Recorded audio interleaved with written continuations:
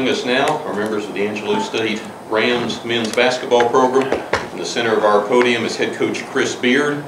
On the far right is Chris Jones. Chris is a 6'2 senior from Dallas, Texas. On the near side of the podium, Demario Mayfield. Demario is a 6'5 senior from Royston, Georgia. Coach, if you would, your initial thoughts on a uh, ball game that saw your team build a lead and then withstand a solid challenge from Kingsville. Yeah, it's March, and uh, it's all about just winning the game, surviving and advancing, and we're thrilled to win. We have a lot of respect for Kingsville's program. Uh, to beat a team three times in one season is very, very difficult. I think Johnny Estelle is one of the best coaches in the league, and they've got good players, and uh, we're just thrilled to win the game. Demario, uh, the game from your perspective, you had 19 points, 14 rebounds. It's one heck of a double-double. You also had three assists and a steal.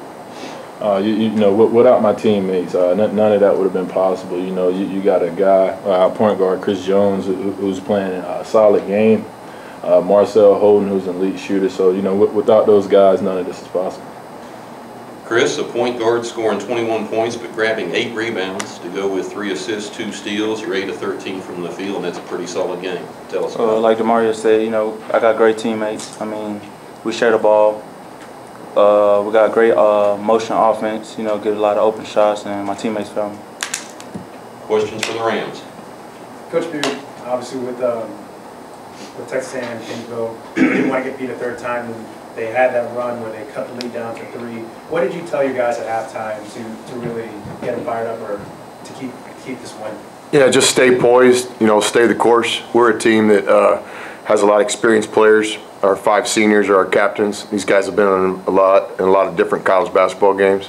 We knew Kingsville had another shot in them. Um, I thought, you know, they're a very difficult team to guard. They get going downhill on you with the dribble, and do you help? Uh, they hit a three. Do you not help? They get to the free throw line. So it's a very challenging uh, offense to guard. Uh, but I was really proud of our effort for 40 minutes.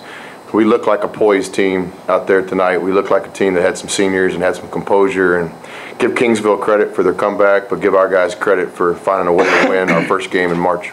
These two guys, uh, Demario and Chris, kind of just on stats, they proved why they belong as first team Lone Star Conference members. What did you think of their performance and how key was that to the, to, to keeping that composure towards the end?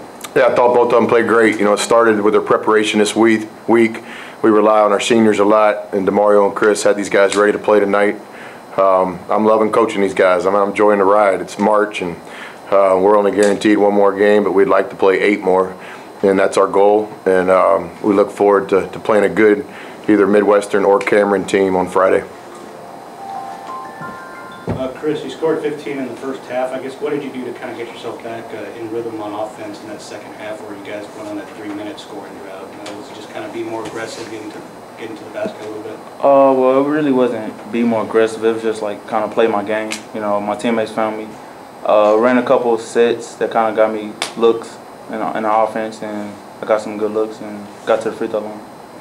Because tomorrow, uh, what did you guys do differently in that last maybe three minutes or so? It seemed like you guys went on a run. Uh, Chris was able to get some steals. You guys were able to get some deflections. Uh, you, you you know, we, we didn't do anything different. you know, uh, uh, Chris Jones is, is leading the Lone Star Conference in steals. You know, that's what he do. Uh, you know, he, he make plays on the ball. So, you know, credit to uh, CJ. I mean, we, we we just stayed with the game plan, uh, j- just listen to our coaching staff and uh, try to execute to the best of our ability. Coach, second time playing in just five days. How tough was it to get this victory today? Well, it was tough because it was Kingsville. Again, I can't say this enough. You know, in college basketball, to beat a team three times in one season that has a good coach and good players is very difficult. Um, and I thought Kingsville played great tonight. I thought from their perspective, they had some runs during the game where it got away from them, uh, but we feel the same way. Uh, but we're just very fortunate to beat a good team like Kingsville three times in one season. In terms of this kind of many games is in this short of a period, I mean, this is March. This is why you work hard in the summers, and this is why they call it March Madness, you know. And uh, we talk a lot about mental toughness uh, in our program. We really believe in mental toughness, and you know, this time of year, you're not going to feel great. You're going to be tired. You're going to be a little banged up, and I think the team that's the tougher has a little bit of an advantage. We pride ourselves in having some toughness, and we're going to learn a lot about our team here uh, in the month of March. Any more questions for the Rams? Uh, last question, Coach. Um, Coach Singo mentioned how both Mario and Chris are, you know, they got the accolade for being first team all conference. To get through this, you need to have probably 10 or 12 guys step up. What do you think is an overall team effort for maybe the guys who didn't grab the headlines this game? Yeah, I think Chris and Demario will be the first to tell you that we really don't put much stock in individual awards. Um, you know, number one, you got to play on a good team to get those kind of honors.